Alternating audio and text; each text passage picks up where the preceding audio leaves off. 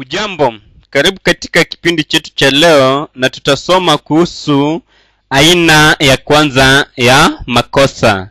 Na nimekwisha andika kwenye ubao. Aina ya kwanza ya makosa ni makosa yanayotokea wakati tunakataa au tunakana dhanio la kwanza hata kama ni sahihi.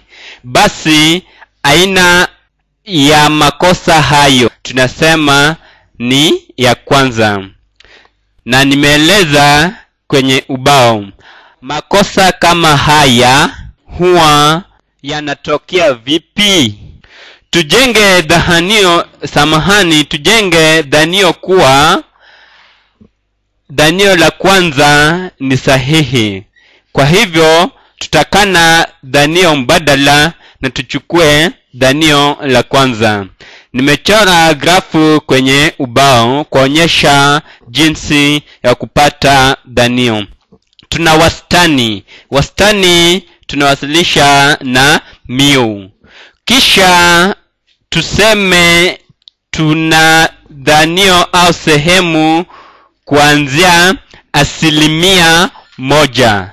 Nam kuna uwezekano gani kuwa asilimia moja itakuwa sawia na jibu letu au itakuwa inakaribia jibu letu?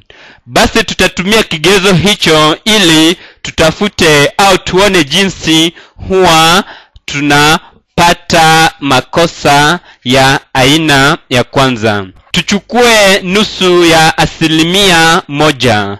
Nusu ya asilimia moja ni asilimia sufuri nukta tano. Natumai unafuata. Basi kama jibu letu ni asilimia nukta sufuri tano tutaweza kuchukua dhanio la kwanza na tukane dhanio la pili. Au tunaweza chukua dhanio la pili na tukane dhanio la kwanza ingawa dhanio la kwanza ni sahihi. Basi tutakana.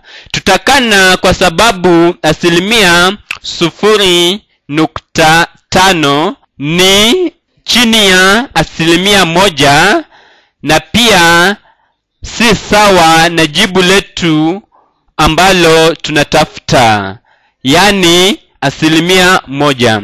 Kwa hivyo tukiangalia kwa makini jibu letu sahihi linafaa liwe dhanio la kwanza. Lakini tunakana dhanio la kwanza na kuchukua dhanio la pili au dhanio mbadala.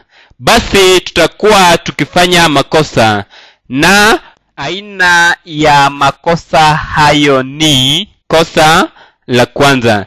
Ndiyo tulikuwa tunajaribu kueleza. Asanteni